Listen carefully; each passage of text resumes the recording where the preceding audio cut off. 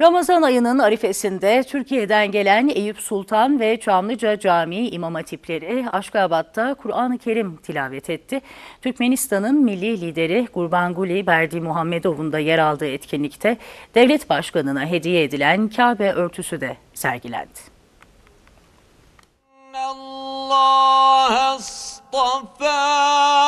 Kur'an-ı Kerim okundu, dualar edildi, Kabe örtüsü sergilendi.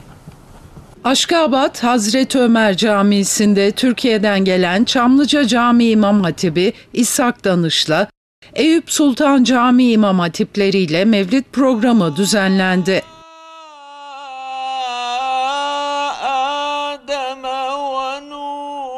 Türkmenistan Müftülüğü'nün ev sahipliğindeki programa Türkmenistan'ın milli lideri Gurbanguly Berdimuhamedov da katıldı.